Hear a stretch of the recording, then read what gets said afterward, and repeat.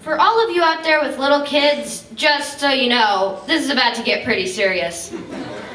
You don't know me. You know my name, not my story. You see my smile, not my pain. You notice my cuts, not my scars. And you can read my lips, but not my mind.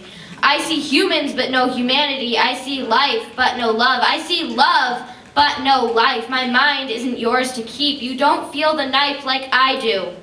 You feel the handle, I feel the blade, but it doesn't feel like it. It feels like I can't feel it because it went too fast. And you can see it until it turns into a scar, and that's when you don't care.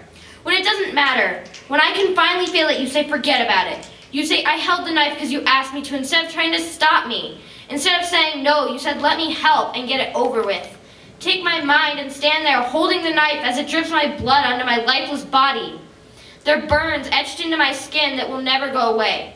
I have scars and they're gone because you told me to move the fuck on. Well, let me tell you to move the fuck back because you don't fucking know me. I'm sorry, but you don't. Goodbye and thank you.